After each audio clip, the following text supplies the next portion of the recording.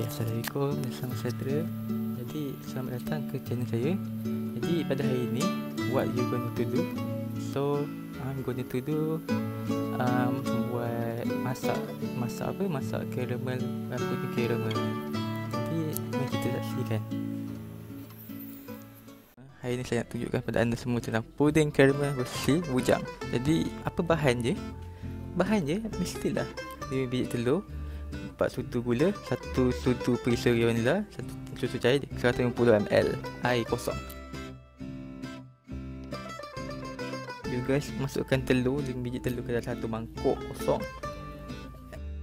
And then ambil satu perisa apa ni vanila. Satu sudu je jangan lebih. Nanti ada kecil manis nanti. Lepas tu sebatikan je. Lepas tu yang bahan yang lain tadi tu anda masukkan je ke dalam mangkuk untuk dipanaskan. And then campuran yang ada telur dia campurkan je ke dalam mangkuk dia.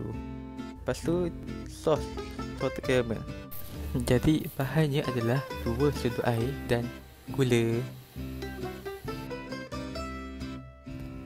And then masukkan air tadi ke dalam mangkuk dia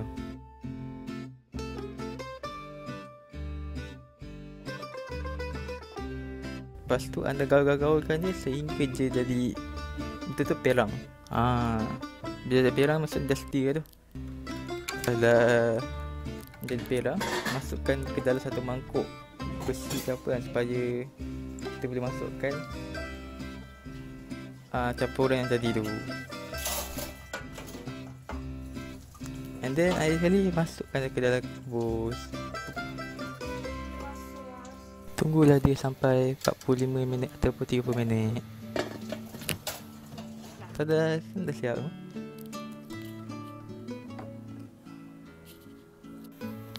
Ah, itu je daripada saya. Hopefully awak semua ah, suka tengok masakan saya dah faham lah macam nak buat benda tu kan. Ah, jadi itu je daripada saya. Jangan lupa like dan subscribe. Bye.